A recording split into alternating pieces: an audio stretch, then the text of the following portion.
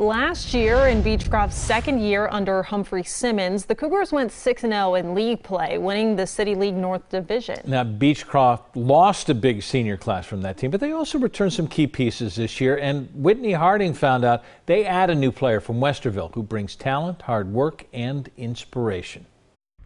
Being the new kid at school is never easy, so when junior Roseau Burns made the switch from Westerville Central to Beechcroft this summer, he knew he had something to prove. The thing is, Roe has always felt like he has something to prove. Just catch the ball.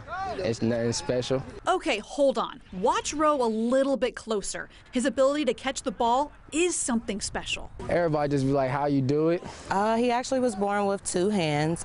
Roe was born with a blood clot at the top of his right shoulder, preventing blood from getting down to his hand. So doctors had to amputate the hand at nine months. So he's never known anything different and never been told he can't do something. He was already an athlete. He was born an athlete. Yeah, he was ready.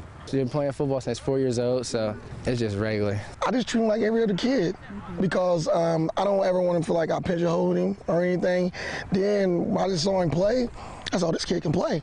Beechcroft head coach Humphrey Simmons has only just started working with Roe and already loves what the wideout brings to his Cougars squad talent and toughness. He never say can't.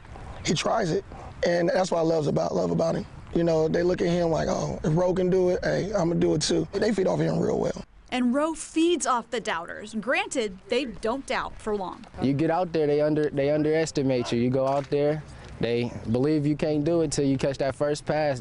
Local for you, Whitney Harding, NBC4. How good is that?